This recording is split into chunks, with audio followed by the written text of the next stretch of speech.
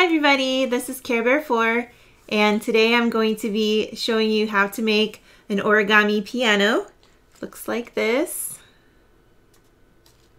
It's very easy to make.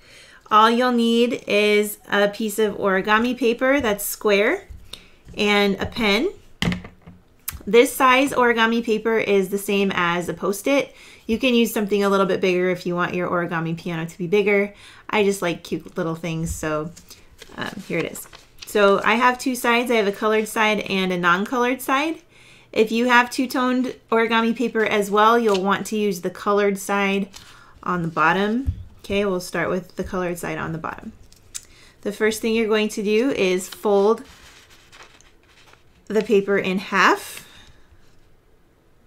not diagonally, okay, the other way. Okay, then you're going to fold it, turn it, and fold it again so that it makes a square.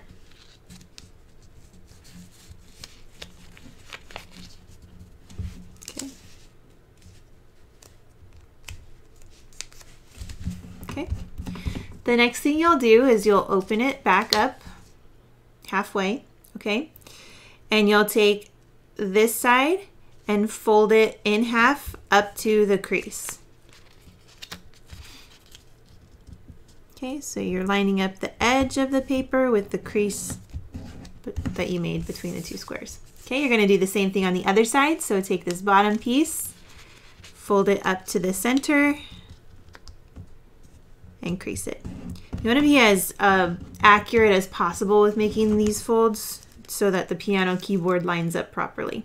Okay, the next thing you'll do is open it halfway again so that you have the flap facing you, okay?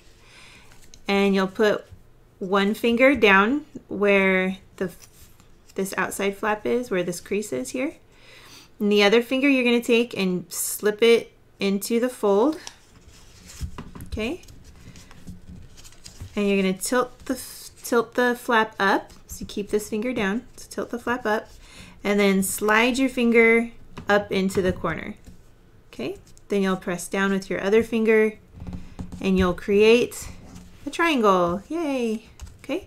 You'll do the same thing on the other side. So you'll stick your finger right here to hold the flap down so that you don't overfold. Put your other finger inside the little crease. Push your finger all the way up to the corner and then slide your finger back out and fold your triangles down. So now you have something that looks like this, okay? The next part is my favorite part. You're gonna take your pen and we're gonna draw piano keys, okay?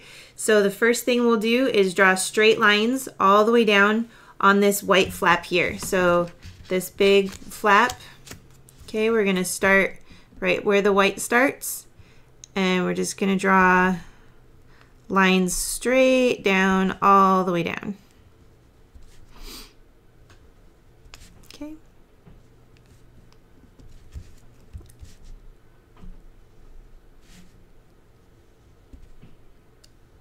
Try to keep them straight. Don't be like me. Okay. Okay. The next thing that we want to do is draw the black keys on the piano. Pianos have white keys and black keys and their black keys show up in sets of twos and threes, alternating two, three, two, three. So we'll start with two, and you're going to start on this black line right here, and you're going to make it just a little bit darker and a little bit fatter. Okay, and then you'll go to the next line, and the same thing. You're going to make it a little bit darker and a little bit fatter. Okay. Then you'll skip a line because we're going to do a set of two and then a set of three. So we need to have a space. So we'll skip that line. And now we'll do three. And try to make them the same length.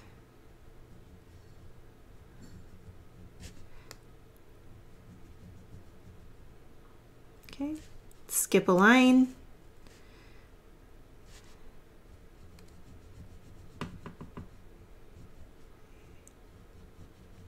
Okay, we're almost done.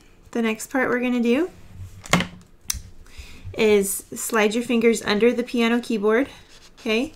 And then flip the flap. That's so fun to say. Flip the flap up and crease it there too, okay? All right, so now you have this, this flap here. You're going to fold it down, not quite to the halfway point. Okay, so here's halfway. We want to think of it in thirds. So here's a third and here's a third. Okay, so you split this into three, three equal parts here. And we're going to fold this top piece down a third of the way.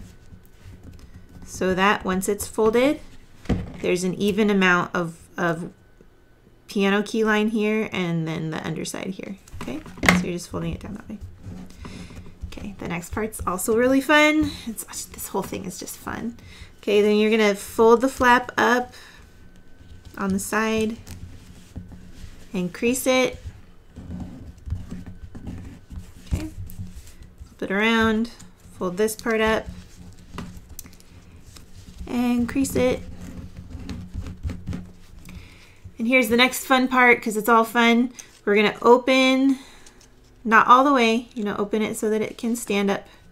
And then you're going to slightly open the keys like that. And so it can stand on its own. Let's see if I can put it up here so you can see it. There it is. You can also make like a little um, bench or whatever. I made myself some sheet music. It's so cute. Look at it, it's just so cute. And then you can actually stick it into the little pocket if you want to, if you just want to be silly.